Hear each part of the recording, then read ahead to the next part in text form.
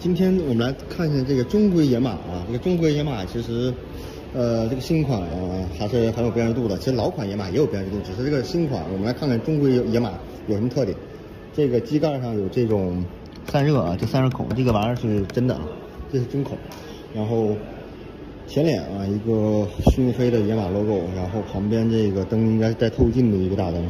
然后可以看到车轮。这个车呃前面是十九的，然后倍耐力的一个胎，我看 P Zero 啊 P Zero，然后是这里啊 P 0 2然后这是一个偏性能的胎，然后后面啊后面是二五五四零十九，我觉得这个胎配在宝马三系上刚好，但是配在野马上可能有一点窄，后面前面其实可以配到二三五或者是二四五。